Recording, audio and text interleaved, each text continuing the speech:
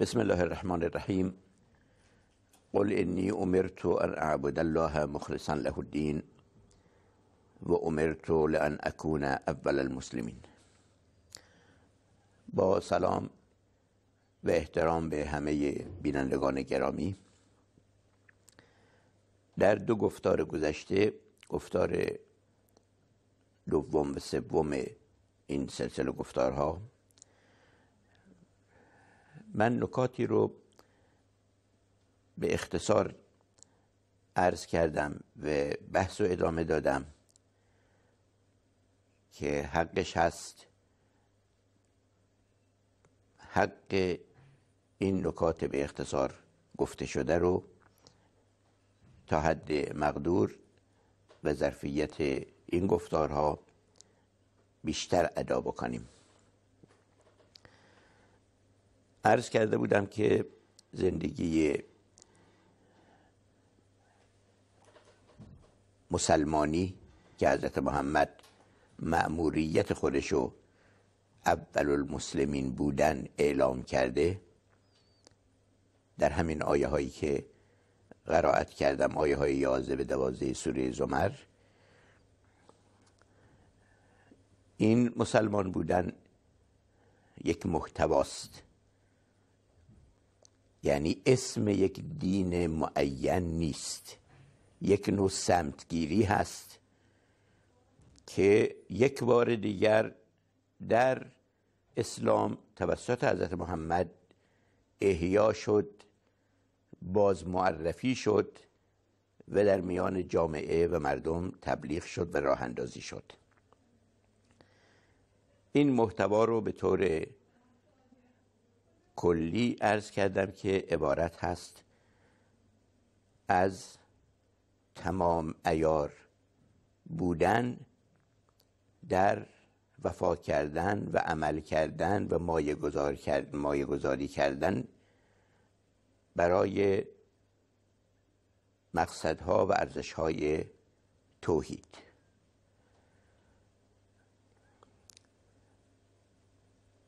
نکته ای رو که به اختصار گفتم و حالا می‌خوام کمی توضیح بدم این بود که وقتی که میگیم تمام ایار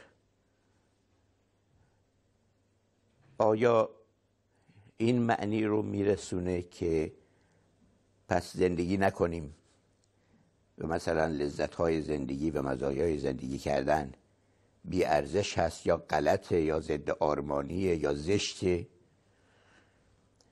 که به اختصار درس کردم که به عکس در زندگی مرامی و زندگی توحیدی و زندگی مسلمانی که حضرت محمد اول المسلمین هست صحبت از دستیابی به لذتهای برتر هست و از شیرین کامی های خورد ریز شبه کودکانه عادی عبور کردن و به دنیای زیباتر، لذیذتر و خواستنی و خواستنیتر ارتقا پیدا کردن. این احتیاج داره به قدری بحث چون یک مطلب جدی هست در نگاه دینی به موضوع به خود قرآن مجید هم به این پرداخته است. اون طرفش هم واقعا یک ابتلا آفرینی وجود داره. یعنی اگر درست پرداخته نشه به این بحث یک ابتلا آفرینی وجود داره که ممکنه همه ما هم به نمونه هاش برخورد کرده باشیم. ولی جالبه که در عصر حضرت محمد هم در میان اون قدیمی ترین صحابه حضرت محمد چنین موردی پیدا شد.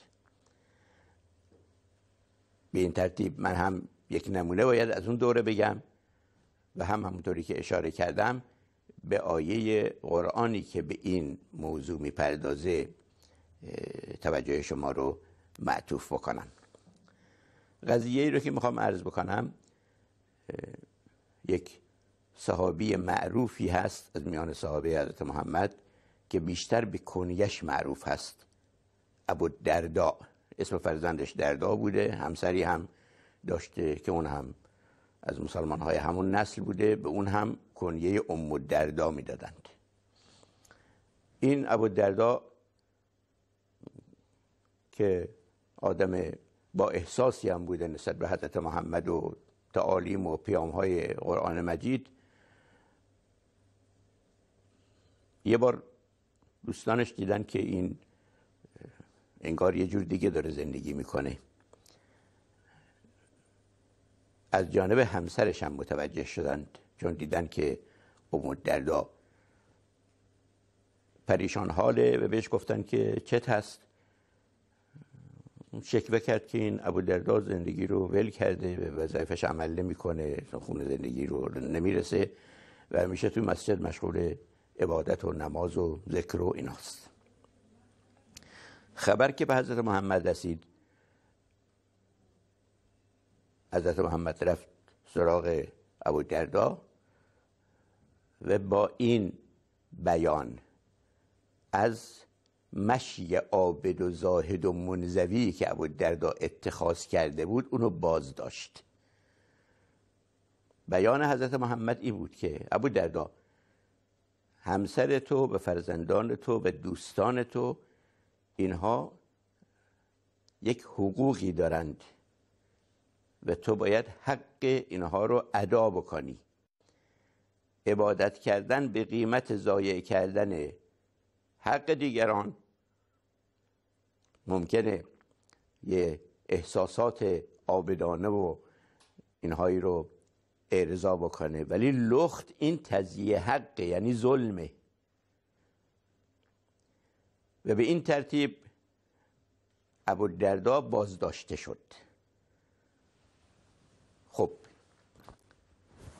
در همین حدی که در این بیان حضرت محمد آمده یکی دو جمله توضیح میدم بعد میریم سراغ آیه ای که به ما چارچوب میده در این مبحث. حق مردم رو باید ادا کرد. ادا نکردنش ظلمه.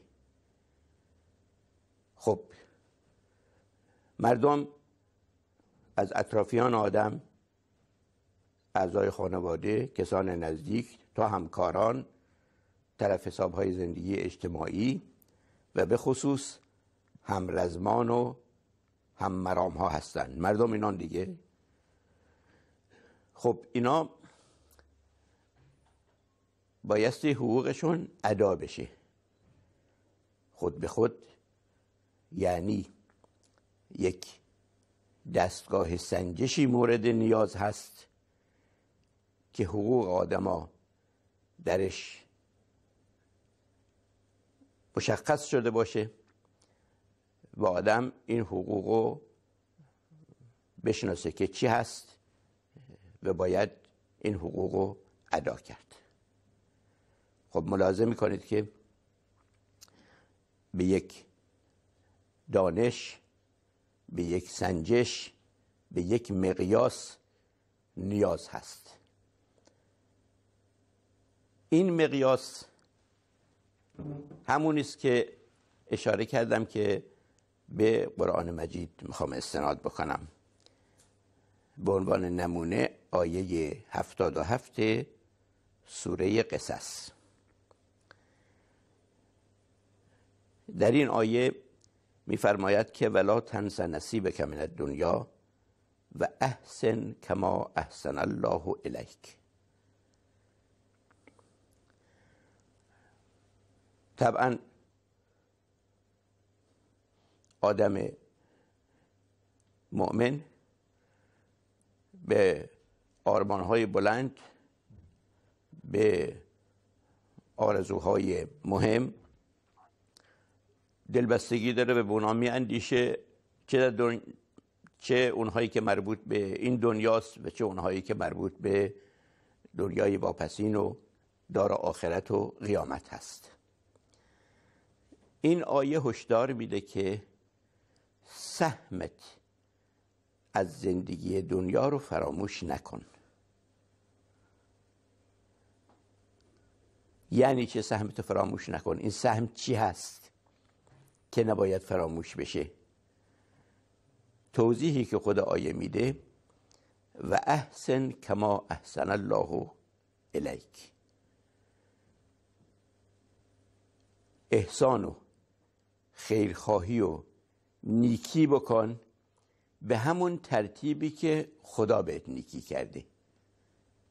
اگر کمی توضیح با در این زمینه با دقت توجه بکنید به یک دستاورد خیلی شیرینی می‌رسیم.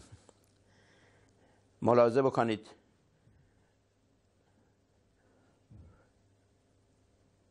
خب ما نصیب های زیادی در زندگی داریم که میشه هر کدوم اینها رو مثال زد و این مطلبی رو که من عرض می‌کنم در اون مثال تعقیب کرد. همه چی رو میشه مثال زد. حالا من مثلا فرض بکنید از اینجا شروع می‌کنم. خب همه ما یک کوره سوادی داریم. حالا یکی خیلی دانشمنده خیلی سواد داره. یکی فرض بکنید که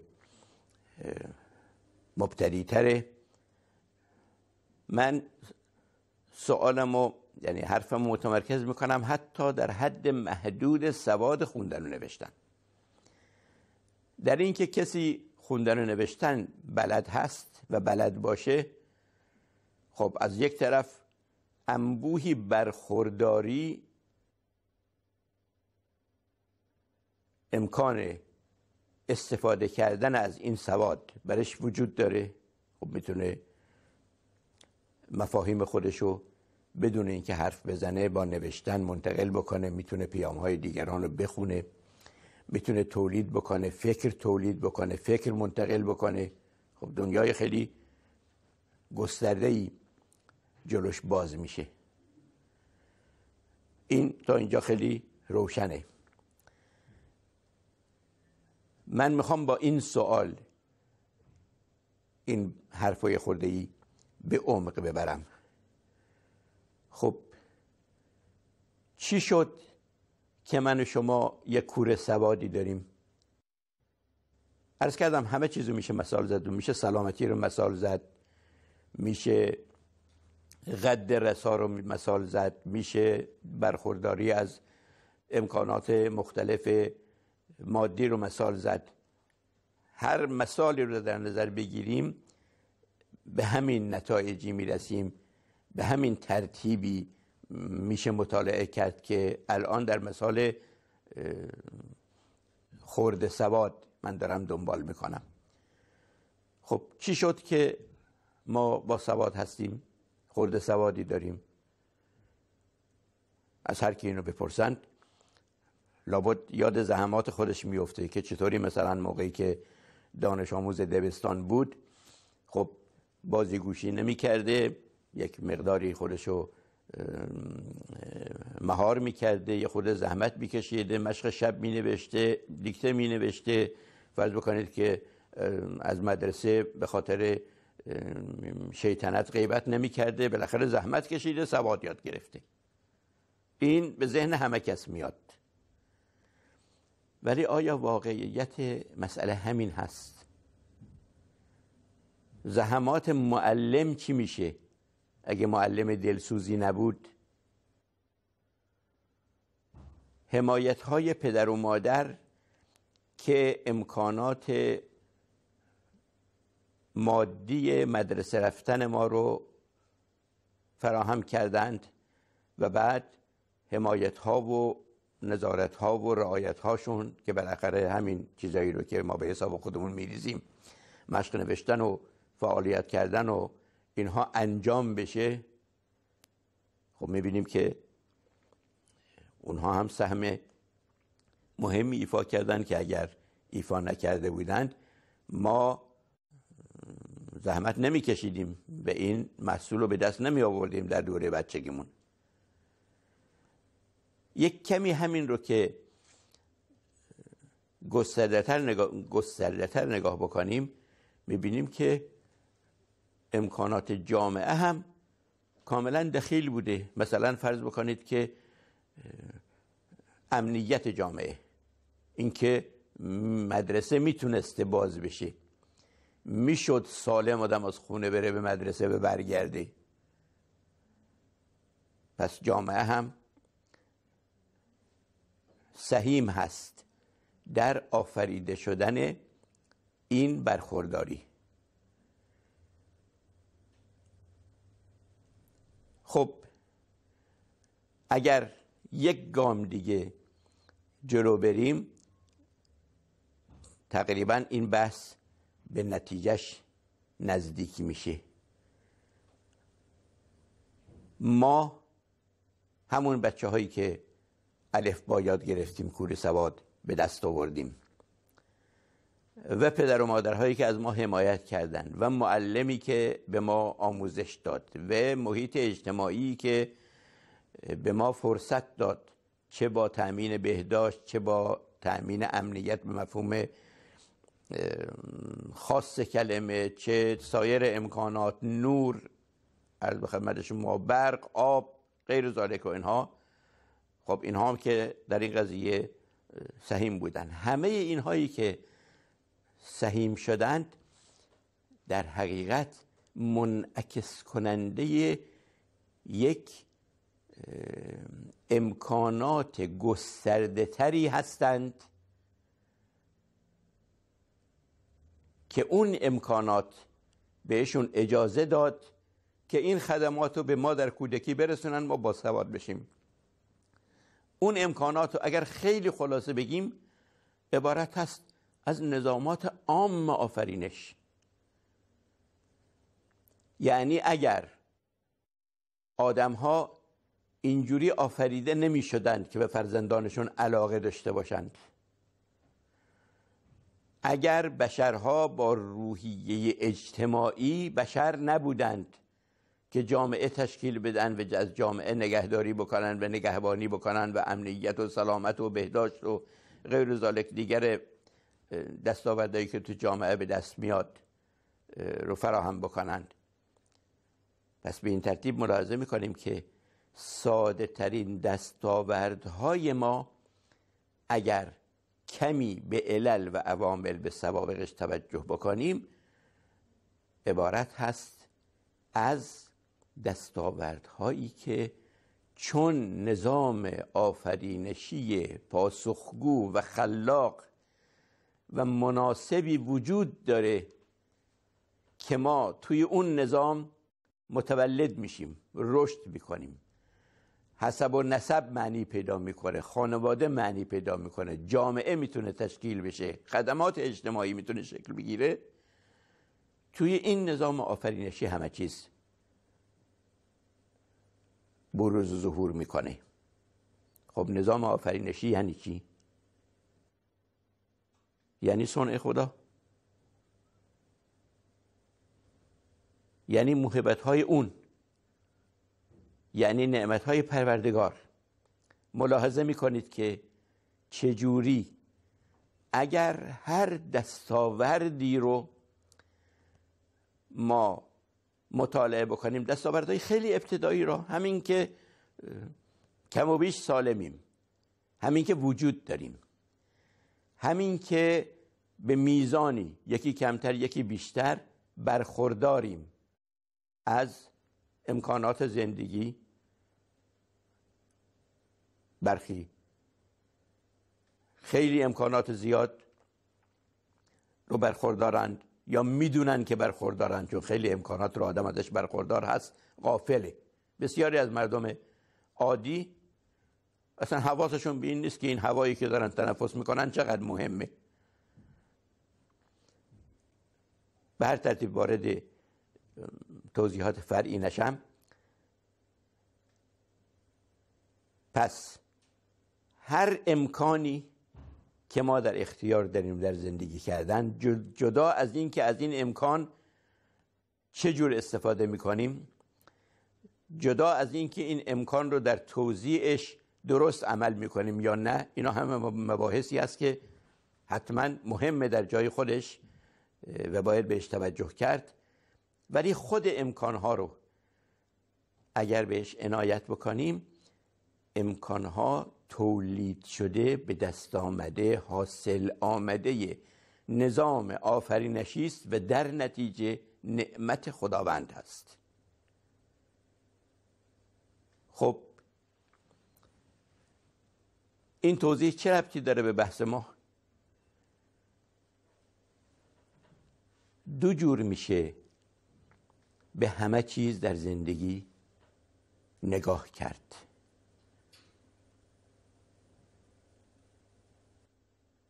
خیلی سطحی و غافل میشه چیزی رو چشید و مثلا اگر شیرین یا هر مزه خوب دیگری که آدم به سریقش می‌رسه خب ازش لذت برد. این ابتدایی ترین ساده ترین و حیوانی ترین تنظیم با زندگیه. ولی میشه این شیرینی رو چشید و فهم کرد که چرا شیرین هست و چرا لذیذ هست و چرا خستنی خواستنی هست و چرا خواستنی هست. از کجا آمده؟ و برای چی آمده؟ خب به این ترتیب ملاحظه می‌کنید که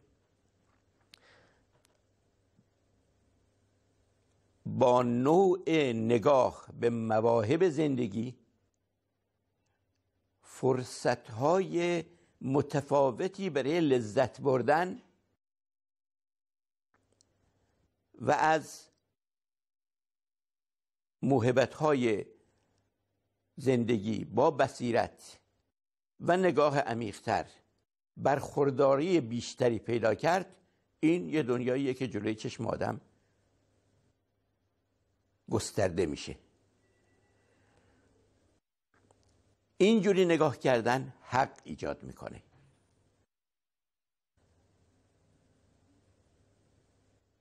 این که حضرت محمد به ابو دردا میگه که حق دیگران رو باید رعایت بکنی از اینجا در میاد. اگر جامعه برای تو امنیت فراهم می‌کنه تا در سایه اون امنیت سلامت به دست بیاری یا سواد به دست بیاری. خب این دستاورد سواد یا سلامت رو خب به چه حقی تفکیک شده که چون تو سالم هستی یا چون تو سواد داری یا چون تو فلان خوردنی لذیذ و بهش دسترسی داری اینجوری باید نگاه کرد. خب این رو منطقیش حقش علمیش این هست که در چارچوب شکلگیری و علل و عواملی تأثیر گذاری که اینو به دست شما رسونده آدم نگاه بکنه. خب از این چه به دست میاد؟ می‌توان با چشم یک موحد. به هر موهبت زندگی نگاه کرد و لذت مضاعف برد. یعنی هر چیز رو در چارچوب علل و عوامل واقعی پدید آمدن و محقق شدنش که نگاه بکنی رگ و ریشش در نظام آفرینش در موهبت هایی که خداوند در این نظام قرار داره مطالعه میشه و تو رو بیشتر وصل می‌کنه. به شیرین ها و به شیرینی ها و موهبت های زندگیت برق و جلای متفاوت میده. میشه سر و پایین انداخت. جاهل و غافل فقط در حد استفاده از آخر که حیوان ها چنین تنظیمی می‌کنن با خور و خواب زندگی به این حد بسنده کرد. پس ملاحظه می‌کنید؟ موهبت های معین در نگاه متفاوت بازده برخورداری متفاوت به آدم میده. خب آیا ما به عنوان موحدین که به ما قرآن میگه ولا تنس نصیب من دنیا سهم ما از دنیا چیه؟ آیا جز موحدان نگاه کردن به موهبت ها و فرصت ها به لحظات عمر به تمام جلوه های ریز و درشت سلامت به تمامی جلوه های ریز و درشت روابط انسانی؟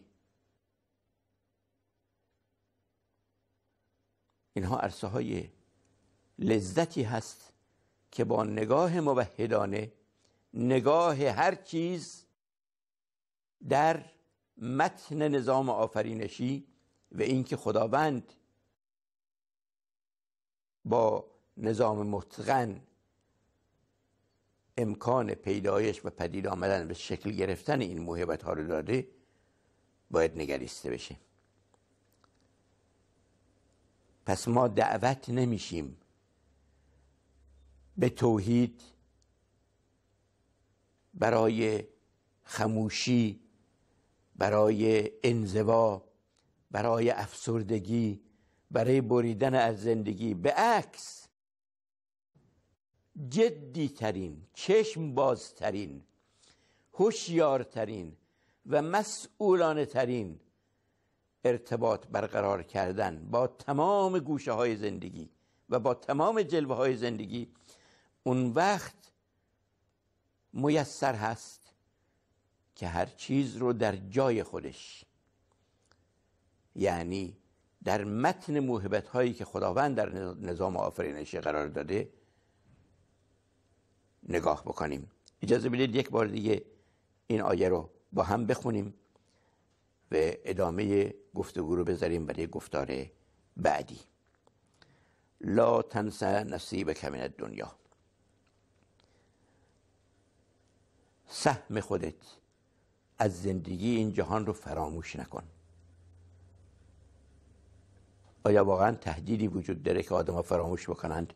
آره چون آدما به سطح سهمی که از زندگی دارند خب راحت برخورد می‌کنن. اینو حواس خمسه زائقه و گوش و چشم و اینا با آدم تحمیل می‌کنه که آدم بر ترتیب رنگ ها رو ببینه صداهای نیکو بشنوه. فرض بکنین مزه های نیکو تشخیص بده. اگه این بود که احتیاج به هشدار دادن نبود. آری آدم می‌تونه غافل باشه و سهمی رو که خداوند در اختیار آدم قرار داده رو اینو نبینه. بنابراین لا تنس نصیب که من دنیا خب اگر این کار رو بکنیم چه نتیجه می... چه به دست میاد؟ و احسن کما احسن الله الیک. اگر اینجور نگاه بکنی نتیجه این میشه که به همون شیوه که خداوند به تو پرداخت کرده و دستاوردهای حیاتی در اختیار گذاشته شده در میابی که باید پرداخت کرد باید احسان کرد باید نیکی کرد تا در برخورداری از همین زندگی به بلوغ برخورداری به قایت برخورداری نائل بشی. آری دیگران غافلان سهمشون از زندگی. اندک کودکانه حقیر و پایین است. ما با توحید به زندگی دعوت میشیم. به دیدن به شنیدن به لذت بردن.